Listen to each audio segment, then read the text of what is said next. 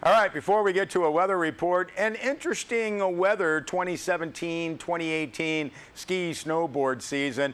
We got some snow, not nearly as much as we had gotten the previous season, but still a lot of great skiing and riding to be had at Mammoth Mountain this season. And this Sunday, June 17th, that's going to be the last day for 2017-2018 winter operations at Mammoth Mountain Ski Area. Mammoth Mountain notes that's over 220 days of skiing and riding since the season began back in early November. And Mammoth points out there was only 260 inches of snowfall at Main Lodge, about 420 inches at the summit. Panorama Gondola 1, Facelift Express, that's the old Chair 3 for us folks have been around for a while. Chair 23 operating from 7.30 a.m. to 1 p.m. skiing and riding. Mammoth Mountain will be giving out Mammoth beanies coffee and pastries at the base of Facelift Express this Sunday morning at 7.30 while supplies last. Now that again is winter operations. The Mammoth Mountain Bike Park is up and riding. We've seen some videos, some great stuff that we received this year from Mammoth Mountain. It seemed like we got a lot of snow, huh? They're already looking forward to the opening of the next winter season. Operations will begin Thursday, November 8th. All right, let's go to the weather map. Sierra Wave Media forecaster Dennis Mattinson noting hot and dry through midweek. High pressure moves up from New Mexico and Texas. Thursday temperatures trend down a bit as the trough moving across the Pacific Northwest flattens the ridge.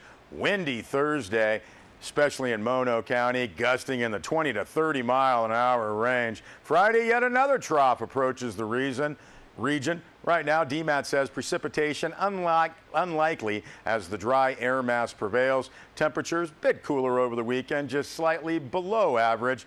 Dennis Mattinson says the possible wild card is the remnants of Hurricane Bud. Now south of Baja, he says a moisture surge is possible late this week. Low tonight into tomorrow morning for Mammoth, 45 degrees. Bishop and the Owens Valley, about 60 degrees. Mammoth, June, Mono County on Wednesday. Man, are we looking at lots of sunshine. Going to see a little southwest wind kick up 10 to 15 miles an hour. 79 the high and Mammoth. Overnight lows lower to the mid 40s. Sunny skies in the forecast for Thursday for Mono County. Southwest winds 15 to 20, but again, some bit gustier at times. 77 the high in Mammoth overnight lows again lower to the mid 40s and lots of sunshine again on Friday still with some southwest winds kicking up 15 to 20 miles an hour 73 the high in Mammoth overnight lows yeah mid to mid 30s to the mid 40 degree range. Bishop and the Owens Valley on Wednesday. Lots of sunshine, maybe a little south uh, east wind, 5 to 10 miles an hour. There it is, triple digits, 100 degrees. Expected high on Bishop on Wednesday. Overnight lows in the upper 50s.